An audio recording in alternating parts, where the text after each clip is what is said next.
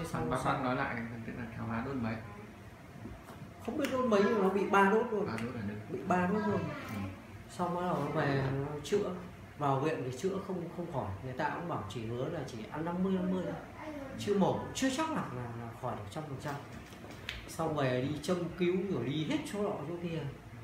Thế xong bắt đầu nghe ở trên ờ, đại học kinh tế quốc dân thì có cái ờ, lớp lớp, lớp ờ, khí công y đạo chính là cô bảo em lên để em học cái khí công y đạo nhưng hôm làm sao lại vào nhầm cái lớp diện trần. Thế mà học học về bắt đầu đấy thế về nó tự chữa khỏi. Thế mà chồng bây giờ khen, sao cái diện trần hay thế nhỉ? À người nó chạy cho anh à, cho chú mấy ngày mấy ngày đi khách tây về, xong nó về ho, viêm họng rồi nó đau nó đau. Hôm ở nhà đã xử lý một tí rồi, nhưng mà nó phải đi. Đi tour, đi hạ long, lại vòng linh bình. Mất ba ba bốn ngày thế là về hôm đấy là em nó ốm. Về em về nó cái bộ tiêu viêm nữa bắt đầu. Khỏi đó sau lại đi làm ngầm nó cứ khen bảo "Vậy trần hay thế.